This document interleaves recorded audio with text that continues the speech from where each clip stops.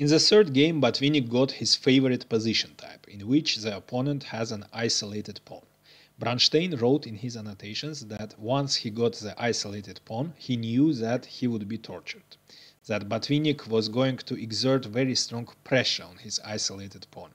He would blockade it, attack it from the front, from the sides, and eventually probably even capture it. So let's see if Bronstein managed to resist this great pressure. Botvinnik started with d4, and Bronstein, as in first game, played e6, showing his readiness to play both the Dutch defense and the French defense. Unlike in the first game, Botvinnik played e4, and we have French defense. Knight d2, c5. And now black uh, inevitably gets the isolated pawn after e takes d, e takes d. Bishop b5 check, bishop d7, queen e2 check, bishop e7, and d takes c. As you see, the pawn is isolated now. Knight f6, knight f3, castles, castles, rook e8, knight b3, bishop takes c5. Of course, the queen is under attack, so white doesn't have time to capture the bishop. Queen d3, a6, bishop takes d7, knight takes d7, bishop g5. And here Bronstein makes a move which looks a little bit strange. He played bishop f8. Why this move is strange? As you see, the pawn is isolated. The isolated pawn has both the shortcomings and advantages. Shortcoming is that uh, the pawn is weak, as there are no uh, pawns on uh, e file and c file to defend it, so it will be constantly under attack. Besides that, uh, white usually blockades this pawn, usually with a knight. It's a very good idea to place a knight uh, in front of it, and the knight would be very active. And black uh, tries to exert some pressure and keep under control this d4 square, the, the, square that is in front of the isolated pawn. And the bishop does exactly this. And it would be more logical uh, to keep the bishop on this diagonal and um, move it to a7 instead of f8. But Bronstein played bishop f8, uh, showing that he doesn't really care about blockading square uh, d4 the advantages of the isolated pawn is that uh, it exerts pressure on the opponent's position. As you see, it controls uh, very important central squares, e4 and c4, and black uh, pieces supported by the pawn can be placed very actively on c4 and e4 and uh, that will be exactly the case. Uh, so uh, let's see if black can defend the pawn and play actively rook d1, queen c7, c3, h6, bishop h4, rook e4, bishop g3 attacking the queen, queen b6, knight d2 attacking the rook, rook e8, queen c2, rook c8, uh, creating unpleasant x-ray and preventing knight d4, which would be a terrible blunder because of queen takes d4 and of course after c takes d the queen falls. So after rook c8, Botvinnik played knight f3 taking under full control the blockading square on d4. g6, rook e1, bishop g7, rook takes, rook takes, bishop f4. So bishop is rerouted to e3 uh, with tempo attacking the queen and taking under control important uh, d4 square and also on this diagonal the bishop is attacking the weakness on h6 bishop f8 h3 king h7 in order to uh, reinforce the defense of h6 knight h2, knight e5, bishop e3 attacking the queen, queen c7, bishop d4, knight e4. As you see, black pieces are active. And bishop takes e5. So uh, when the opponent has the isolated pawn, it's always a good idea to exchange as many pieces as possible because uh, then the weakness of the isolated pawn uh, would tell closer to the end game. It would be difficult to defend it. And as the pieces are exchanged, uh, the side which has uh, isolated pawn wouldn't have opportunity to play actively with pieces. So bishop. That's why bishop takes e5. Queen takes e5, knight g4 attacking the queen, and here Bronstein finds a very strong move, queen f4, leaving the pawn uh, unguarded. However, it would be very dangerous to accept this sacrifice if rook takes d5. Then Bronstein prepared a very strong move, knight g3, threatening terrible rook e1 check with checkmate next move. And of course, uh, f takes g is losing on the spot after rook e1 check, king h2, and queen f1, threatening checkmate. the only way uh, white can try to save the king is knight f6 check and g4 making a room for the king however it wouldn't help after queen g1 check rook e3 check uh, bishop d6 check in order to deflect the rook from the fifth rank.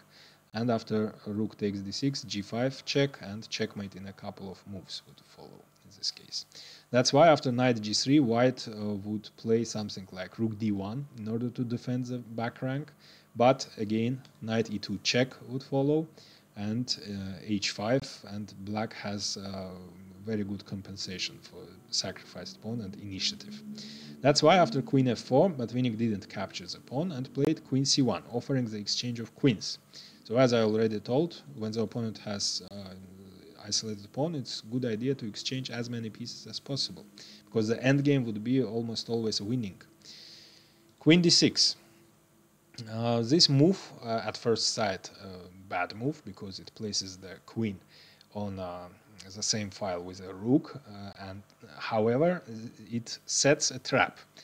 It tempts white to make a natural-looking move c4, which at first sight is very strong because it attacks the weakness on d5, which is pinned. Black cannot capture. However, Bronstein uh, prepared to this h5. And after rook takes d5, queen c7, knight e3, bishop h6. Very unpleasant move, uh, pinning the knight and creating uh, very unpleasant pressure on this diagonal. And also the rook also attacks the knight. And if we take into consideration that the knight on e4 can eliminate the defender of the knight on e3 mm, by sacrificing himself on f2, then we will see that black has uh, better uh, so, for example, if rook d3 defending the knight, then just queen f4, queen e1, knight takes f2, and after queen takes f2 and exchanges on e3, black would be better, because in the endgame, the bishop would be much stronger than the knight, because in the open position, with uh, pawns on both sides, a bishop is much stronger than the knight, uh, as it can control both sides, the king side and the queen side at the same time, and the knight cannot do that.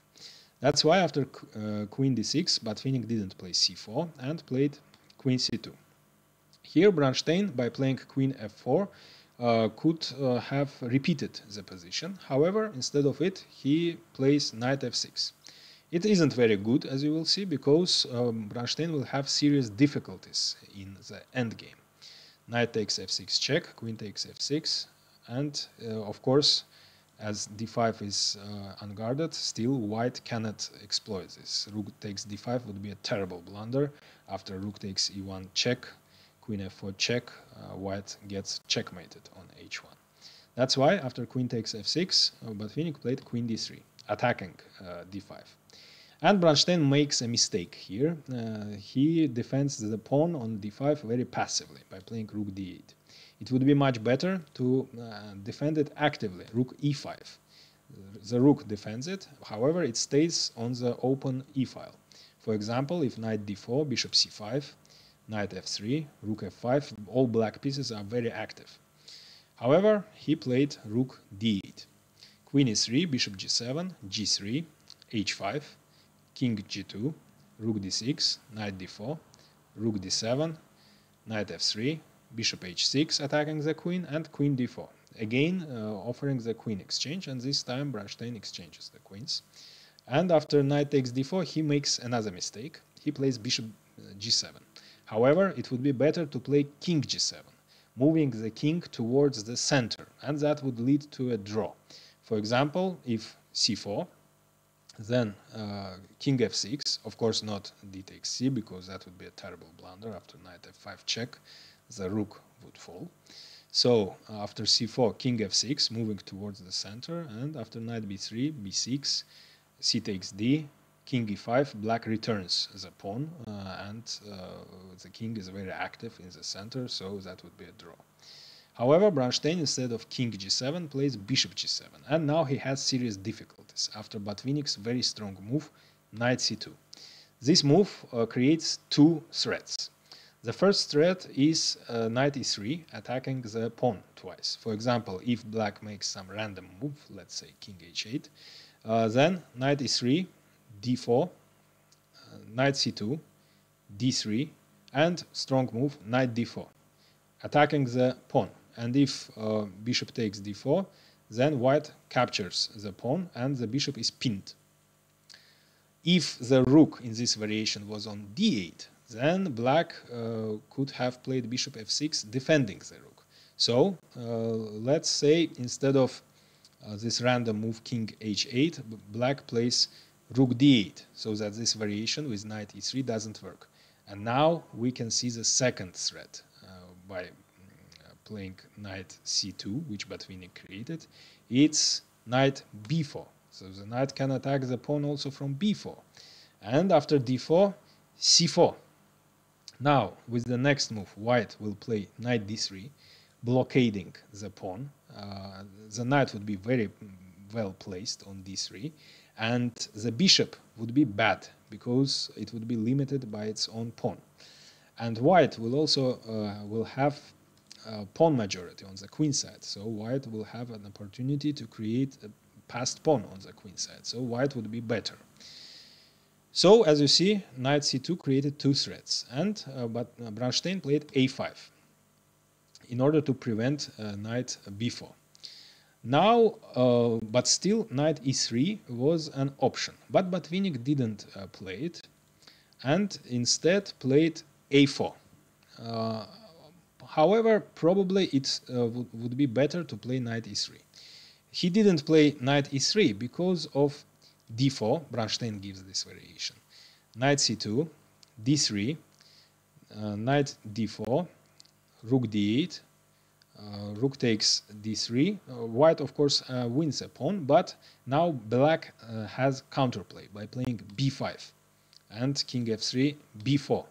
Now the bishop would be very active the rook is very active, so for the pawn, black has some compensation. But white still is better. White, white is a pawn up, so probably that's what Botvinnik had to do.